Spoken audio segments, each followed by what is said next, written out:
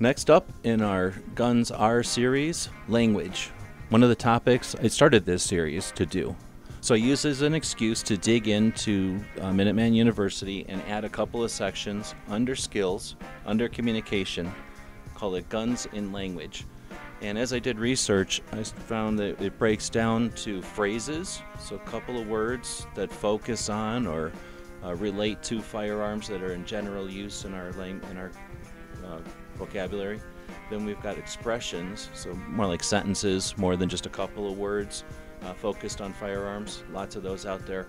Uh, idioms, so things that don't have anything to do with guns but mean guns. Something like Chicago typewriter, I think would be an example of that.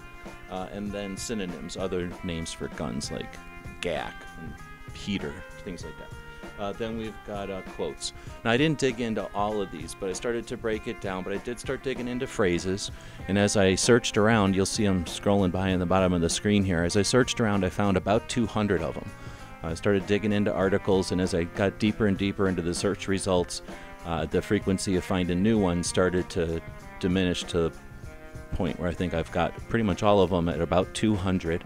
Uh, but please, if you know of any that I'm missing in the list, uh, let us know and we'll definitely include them. Uh, that's one of the things we'll do with this series. I didn't even think about it, but originally, but it could be used to gather. So let's try to gather whatever uh, gun phrases are out there uh, so that we can keep track of them. Now, the point of this series is to offer uh, ideas or uh, suggestions for uh, conversations out there again in real life or online.